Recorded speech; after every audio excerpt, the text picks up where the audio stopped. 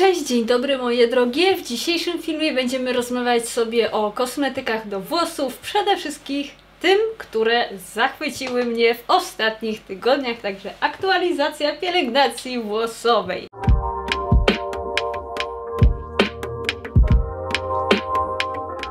Z Was, które mnie oglądają systematycznie, być może widzą zmianę biżuterii, tak, zaczęłam drugi etap leczenia ortodontycznego, dlatego wszystkie Was zgromadzone przez ek przed ekranami, zarówno te, które są ze mną dłużej, jak i te, które pierwszy raz na mnie wpadły, przepraszam za jakość audio, pewnie będę trochę seplenić, mm, wiem, że w moich ustach dużo się dzieje, jeżeli widzicie tam też jakieś dodatkowe kolory, nie tylko srebrny, tak, tam jakieś pani doktor zrobiła mi na nakład, nie nakładki, jakieś takie dodatki, które są w jakichś różnych kolorach, więc niestety w mojej jamie ustnej teraz dużo się dzieje. Mam jednak nadzieję, że to nie sprawi, że będzie się Wam bardzo źle oglądało, że wyłączycie ten film, bo dzisiaj rozmawiamy o absolutnie wspaniałych, wspaniałych produktach. Też dla jasności powiem, że niedawno byłam u fryzjera. E, ja jestem ze Śląska, z Kato... Boże, z Katowic. W Katowicach mam świetnego fryzjera. Ja jestem z miasta okolicznego, z Mysłowic, Katowic, natomiast w Katowicach jeżdżę do Maestro. Maestro jest fantastycznym fryzjerem, świetnie tnie włosy i ja sobie nie wyobrażam iść do innego fryzjera, ponieważ on umie podciąć włosy kręcone tak, żeby się właśnie jeszcze bardziej kręciły, żeby ta fryzura miała odpowiedni kształt, a żeby nie wyglądała jak taki, wiecie, Chopin po koncercie. Więc raz, że fryzura ma dobry kształt, dwa, że po lecie trochę maestro mi tam coś poczarował i nałożył produkty bardziej takie pielęgnacyjne i akurat, no wiecie, to wiele zależy od fryzjera, jakie tam swoje produkty ma, ale akurat idąc do Pawła jest tak, że on te produkty pielęgnacyjne to nie są zwykłe odżywki, maski jak macie w domu. To są takie specjalistyczne produkty jak Olaplex lub tego typu preparaty, które najpierw tak trochę rozchylają łuskę włosa, żeby potem coś tam mocno dogłębnie do tego włosa wprowadzić, a potem to jeszcze domknąć. Ja to mogę tylko tak obrazowo powiedzieć, ja nie jestem fryzjerem, nie znam się aż tak na tych produktach, więc więcej pytań mogłabym tam do niego kierować, natomiast ta pielęgnacja, którą robi, ja bym powiedziała, że to jest coś trochę bardziej w stylu produktów, nie wiem, jakichś takich keratynowych, które prostują i odżywiają włosy, niż takich domowych masek i odżywek, więc ta pielęgnacja jest całkiem czymś innym i faktycznie jak ja wychodzę od fryzjera widzę, że te włosy są w lepszej kondycji. Oczywiście żaden produkt, nawet fryzjerski, nie sprawi, że włosy po lecie, po słonej wodzie, po słońcu, całkowicie, że się odbudują, natomiast faktycznie kondycja włosów jest dużo, dużo lepsza niż była. No trochę jeszcze gdzie niegdzie mi się puszą, no bo tak jak mówię, no ja trochę na urlopie zaszalałam, przyznaję, że bardzo dużo spędzałam czasu w słonej wodzie, dużo byłam na słońcu, no i to się przełożyło na to, że te włosy uległy lekkiej destrukcji, ale mam teraz takie silne postanowienie, jednak jesień idzie, potem zima, mocno te włosy zregenerować, zrewitalizować, no nie? Żeby potem w lecie móc zrobić to samo. Biedne moje włosy. Ale przejdźmy już więc do tego, co aktualnie wykorzystuję celem właśnie pielęgnacji, wzmocnienia i przejdźmy sobie krok po krok przez całą rutynę pielęgnacyjną i zaczynam od olejowania. Olejowanie przeprowadzam raz na dwa tygodnie, a czasem nawet i rzadziej. Wtedy, kiedy widzę, że moje włosy mają bardziej tendencję do puszenia, kiedy chcę im dodać blasku, ale niezbyt często, bo mam włosy cienkie, delikatne i od nadmiaru olejowania one stają się takie, wiecie, smętne, przyklapnięte i przetłuszczone. I też zauważyłam, że u mnie lepiej sprawdza się olejowanie tak na przykład na 2-3 godzinki, niż na przykład na całą noc. Więc y, nie przesadzam z tym olejowaniem, w taki sposób to wykonuję. Najważniejsza jest systematyczność i wykorzystuję olejek do ciała Peklavus, bo tak naprawdę do olejowania włosów może służyć jakikolwiek y, kosmetyk.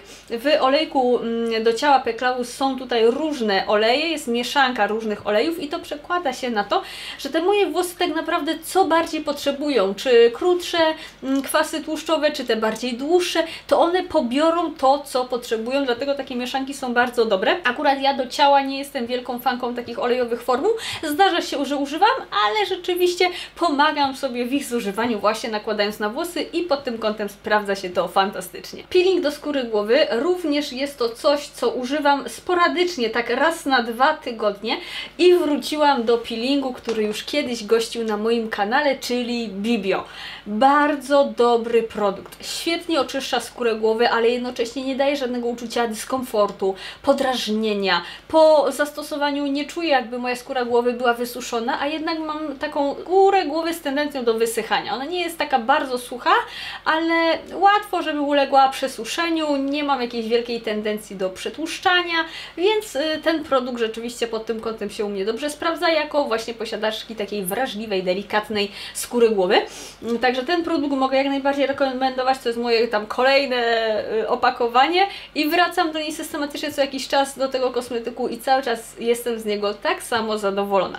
I oczywiście peeling Bibio możecie dostać w Rossmanie, ale gdybyście chciały wesprzeć polski biznes, to pragnę poinformować, że w mojej drogerii internetowej Kosmetyczny Shop pojawiły się produkty Bibio Cosmetics, między innymi właśnie ten wspaniały peeling do skóry głowy, więc jeżeli go jeszcze nie próbowałyście, to może będzie teraz ku temu świetna okazja, żeby przetestować, zwłaszcza, że tak Wam powiem jeszcze PR-owo, że mamy świetną teraz promocję na Shopiku. Jak zrobicie zakupy za 111 zł, a powiedzmy sobie szczerze, co to jest zrobić e, w obecnych czasach zamówienie kosmetyczne na 111 zł, to kupicie sobie żel do mycia ciała, szampon, kupicie sobie, nie wiem, krem do rąk na jesień i od razu Wam się ta kwota robi.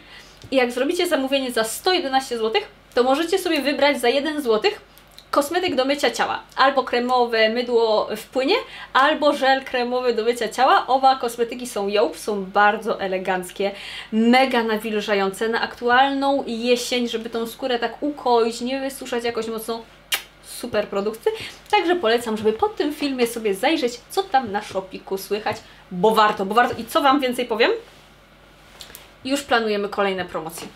My w tym momencie mamy zaplanowane już do końca grudnia jakie będziemy mieć promocje, a do tego dochodzą kolejne.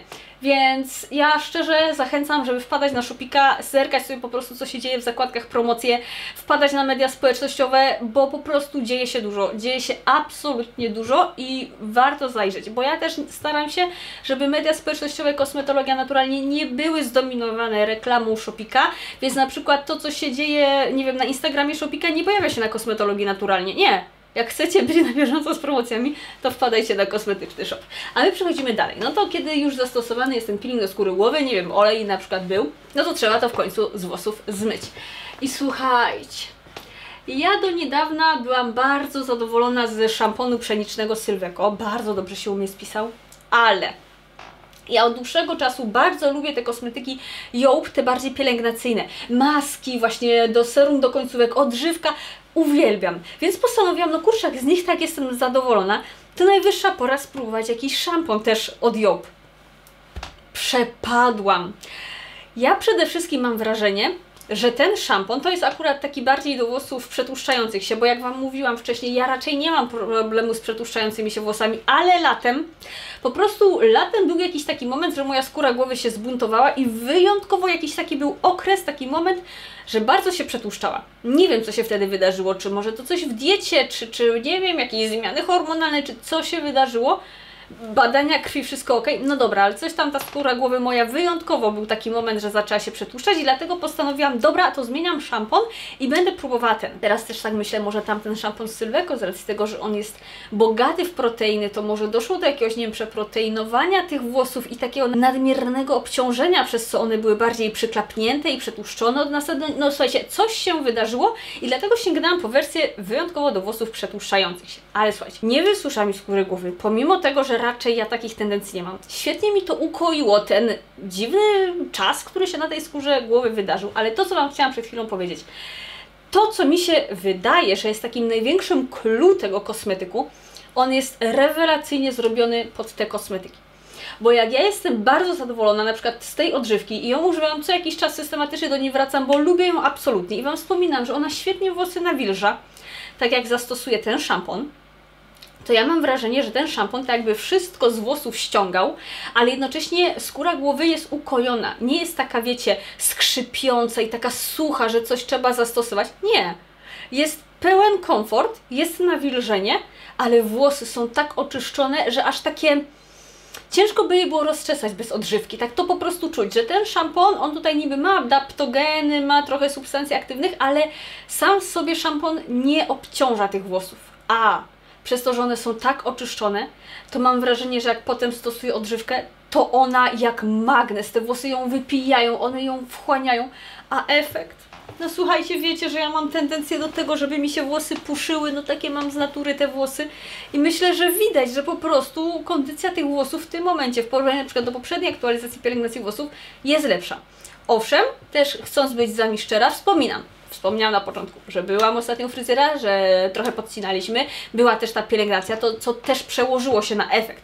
Niemniej jednak, kiedy jeszcze nie stosowałam tego szamponu, tylko tamten odbudowujący przeniczno-owsiany z Sylweko, to ta pielęgnacja z tymi, y, z tą odżywką dobrze było, dobrze się działa, było fajnie, ale w tym momencie jest lepiej. Więc szczerze polecam, żeby sobie spróbować, jeżeli jeszcze nie miałyście okazji, zrobić sobie e, jakiś taki zestaw, mm, bo Jope ma bardzo szeroką gamę tych kosmetyków, no ja tutaj mam, tak wspomniałam, do bardziej takich przetłuszczającej się skóry głowy, bo się coś takiego u mnie wydarzyło, że potrzebowałam takiego szamponu, ale jest jeszcze wersja taka wzmacniająca, y, w sensie odbudowująca włosy i jest jeszcze bardziej nawilżający szampon właśnie z tej serii. I do tego sobie dobrać czy odżywkę, czy maskę też z tej serii Jope. Tam są i maski nawilżająca i taka regenerująca i tak samo odżywki, taka regenerująca i nawilżająca sprawdźcie sobie, no po prostu to połączenie wchodzi jak złoto i włosy są dużo bardziej lśniące, nawilżone, gładkie, ale nie są przyklapnięte. Jeżeli macie włosy kręcone, to właśnie one nie ujmują mm, tego skrętu, wciąż te włosy są pełne objętości, więc ogólnie bardzo fajnie wchodzi to połączenie. No to jak już o tym powiedziałam, to właśnie przejdźmy sobie do tych kosmetyków Jope, żeby tak kontynuować. No i teraz systematycznie wykorzystuję odżywkę nawilżającą. Ja do niej wracam systematycznie co jakiś czas, bo absolutnie ją polubiłam. Ona sprawia, że moje cienkie włosy nie są przyklapnięte, nie schodzi z nich objętość, ale jednocześnie przy systematycznym stosowaniu są takie bardzo błyszczące i ładnie się kręcą. Mm, to jest też taka trochę specyficzna odżywka, bo ją im dłużej się stosuje, to mam wrażenie, że te włosy jakby systematycznie coraz bardziej tą odżywką się wysycają i ten efekt im dłużej się używa jest coraz lepszy. Natomiast te stężenia substancji aktywnie pielęgnujących mam wrażenie, że są tak dobrane do tej odżywki, żeby jednak nie spowodować przeemolientowania, przehumektantowania, tylko to jest tutaj naprawdę fajnie dopasowane i nawet tak jak ja teraz nie mam żadnej odżywki na zmianę, tylko ją używam cały czas, to mimo wszystko nie obserwuję, żeby doszło do jakiegoś przehumektantowania, emolientowania, żeby w którąś stronę to, ta pielęgnacja za bardzo się przechyliła. Także uważam, że są to bardzo dobrze dopasowane produkty, i pod y, względem tego, żeby do siebie były dopasowane i pod względem samodzielnego stosowania wspaniałe, mega polecam przetestować. Od czasu do czasu sięgam też po odżywkę do włosów i taką w sprayu i tu muszę przyznać, że jak kiedyś byłam bardziej systematyczna z tymi odżywkami, tak ostatnio stosuję ich coraz mniej. Może to jest ten błąd, może dlatego gdzieś tam mi te włosy się bardziej puszą, no ale mam tą tendencję, że łatwo jest moje włosy przeciążyć i sprawić, żeby były takie przyklapnięte, dlatego u mnie im mniej w pielęgnacji, tym jednak jest lepiej, bo fryzura ma wtedy objętość. Niemniej jednak od czasu do czasu zdarza się, że zamiast tych wszystkich takich aktywatorów, stylizatorów, to właśnie spryskuję sobie włosy odżywką w sprayu, również ją i ona też świetnie się u mnie sprawdza, bo i nabłyszcza włosy i sprawia, że ten skręt jest bardziej zauważalny i jednocześnie nie tak jak różne aktywatory, stylizatory, mm, nie tworzy takiej skorupki, którą trzeba potem odciskać, tylko te włosy mają pełen komfort, są nawilżone ale też od razu pełne objętości, nie ma żadnych sucharów, więc zdarzało się na przykład latem, że ja myłam rano włosy, spryskiwałam tą odżywką, no i nie wiem, szłam gdzieś na miasto, zajmowałam się czymś i po prostu nie było takiego efektu, że e, dziwnie wygląda w sucharach gdzieś tam chodzi. Nie, żadnego wstydu, po prostu włosy wysychały i fryzura wygląda tak, że Boże, jak ja smokam w tym aparacie sorry, jeszcze, jeszcze nie, nie ogarniam tego aparatu, ale przynajmniej już mam wolne podniebienie, więc nie będę Wam tak dziwnie cmokać, jak mi się zdarzało na poprzednich filmach, że takie czasem było słychać, bo to przez to, że mi się język źle na podniebieniu układał, bo pierwsze, pierwszy etap leczenia to było le, leczenie aparatem Hyrax, takim do rozszerzania podniebienia, ale ten etap mam już za sobą. Szczerze, tęsknię za tamtym aparatem, bo ten boli zdecydowanie bardziej. Więc przejdźmy do przyjemniejszych kwestii, a totalnym hitem, totalnym przyjemniaczkiem jest serum Boost. To jest serum na końcówki. I to jest serum wyjątkowe, ponieważ ono jest emulsyjne, a nie olejowe. I to przekłada się na to, że to serum nie obciąża włosów. Dla mnie numer jeden hit i używam go mega systematycznie chyba od ponad roku. Cały czas go wykorzystuję, znaczy nie jedno opakowanie, po prostu zmieniam jedno za drugim, jedno za drugim, bo on totalnie włosów nie obciąża. Sprawia, że wciąż mają objętość, nie są tłuste, nie są przyklapnięte. Jestem w stanie nałożyć to serum nawet, wiecie, może nie tak, że aż od skóry głowy, ale gdzieś tak od ucha w dół i nie ma tego uczucia takiego ciężkości, tłustości, kleistości nawet na drugi dzień. To nie jest tak, że ta fryzura jakoś jest nieświeża. Nie. Cudowne, cudowne serum na końcówki. Z tym serum po prostu dbanie o końcówki włosowe jest znacznie przyjemniejsze, łatwiejsze i zachęcające do systematyczności, bo nie ma tego frustrującego momentu, że ach, nałożyłam za dużo jakiegoś serum emolientowego i nagle włosy są tłuste, a przecież ja mam dzisiaj ważne spotkanie i co ja mam teraz zrobić? Nie. Nawet jak tego nałożycie troszkę więcej, to to i tak się fajnie wchłonie. No po prostu rewelka, rewelka. No i co? No i na sam koniec jeszcze przejdziemy sobie do wcierek. I wcierki używam dwie, natomiast powiem Wam tak. Ha, bo to są kosmetyki takie... Zaraz Wam wytłumaczę, o co z nimi chodzi. Najpierw Wam przedstawię. To są dwie wciereczki. Jedna jest Sylwekodermo, druga jest wianek prebiotyczny. Tylko tak. O ile te wszystkie kosmetyki, o których Wam dzisiaj powiedziałam, one mają takie absolutnie w 100% naturalne składy, o tyle te wciereczki no mają tutaj pewnego rodzaju substancje, które mają pomagać przenikać substancjom aktywnym bardziej w głąb skóry. I tu się muszę zgodzić, że substancje te faktycznie pomagają, jeżeli chodzi o przenikanie substancji aktywnych, bo mam w tym momencie faktycznie masę baby hairów na głowie, odrastają mi fajnie włoski, no więc tutaj jakby nie mogę zaprzeczyć, jeżeli chodzi o ich działanie.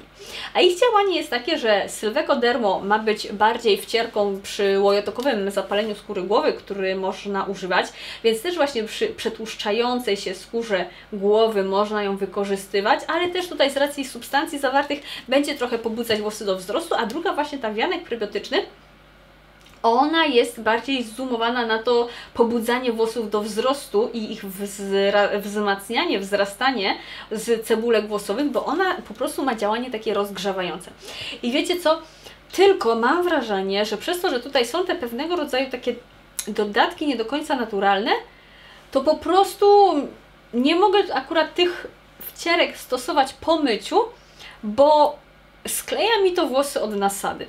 I o ile na początku ja Wam wspominałam, że przy okazji yy, wcierki tej dermo, w weekendowym vlogu Wam wspominałam, że nawet tak na początku mi się to usztywnienie podobało, bo takie się wydawało, że włosy są bardziej odbite od nasady. Słuchajcie, to był jeden, jedyny raz, kiedy mi to tak fajnie akurat wyjątkowo siadło. Niestety nie udało mi się kolejny raz uzyskać aż taki fajny efekt, wręcz przeciwnie, częściej te włosy wyglądały na przyklapnięte, przetłuszczone.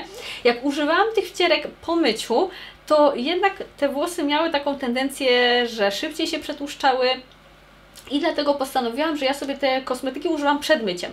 Po prostu przed każdym myciem, tak na 2-3 godziny, wtedy używam tych wcierek i wtedy jest ok. One jak najbardziej działają, ale nie mam takiego, wiecie, poczucia dyskomfortu, że jednak gdzieś tam na tych włosach jest coś obciążone i przetłuszczone.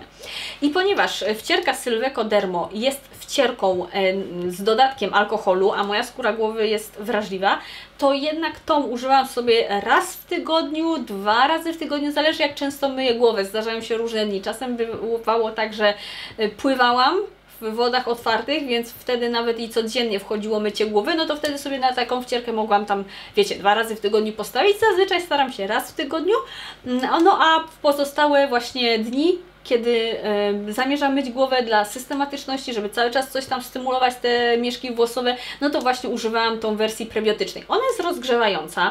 Mm, I zdarzało mi się spotkać z taką opinią, że to rozgrzanie, chociaż na początku jest bardzo mocne, to im dłużej się używa, tym to rozgrzewanie po jakimś czasie jakby zanika ten efekt, że już niektóre osoby nie czują tego rozgrzewania. No ja tak niestety nie mam. Jestem już gdzieś w połowie opakowania i za każdym razem, kiedy ją nakładam, zawsze czuję to rozgrzanie i to jest bardzo intensywne rozgrzanie, także pragnę tutaj zwrócić uwagę. Może jest to kwestia tego, że mam wrażliwą skórę głowy, więc może te odczucia tutaj są mocniejsze. Więc skuteczności pod kątem tego, jak te kosmetyki opisuje producent, nie da się odmówić, skuteczne są, tylko akurat gdzieś tam u mnie na moich cienkich włosach nie do końca, bo mi to trochę fryzurę obciążało. Więc to jeżeli chodzi o kosmetyki, natomiast jak możecie też zauważyć, no systematycznie wykorzystuję, jestem absolutnie zakochana, no ale żeby mogło być inaczej, w shopikowym wycieraczu, czyli naszym autorskim ręczniku, który ma mieć na zadanie nie tylko dobrze odsączać wodę z włosów, ale nawet jeżeli zastosujecie sobie jakieś odżywki, maski, produkty do stylizacji i nie wiem, przesadzicie z ilością tych produktów, to ten ręcznik też świetnie ten nadmiar wypije, więc nie będzie potem takiego efektu, że z czymś przesadziłyście i jest zbyt tłusto, zbyt obciążająco. Nie, nie, nie. Ten ręczniczek po prostu sprawia, że włosy wyglądają wyśmienicie, nawet jeżeli macie ciężką rękę do kosmetyków. No i dodatkowo ma taki uroczy design, więc mam nadzieję, że i Wam przypadnie do gustu. I jeszcze na sam koniec może kilka słów na temat suplementacji, bo nie wzięłam sobie suplementów ze sobą, ale tak sobie pomyślałam, warto o tym wspomnieć, bo suplementacja jest też warta y, w kontekście włosowym.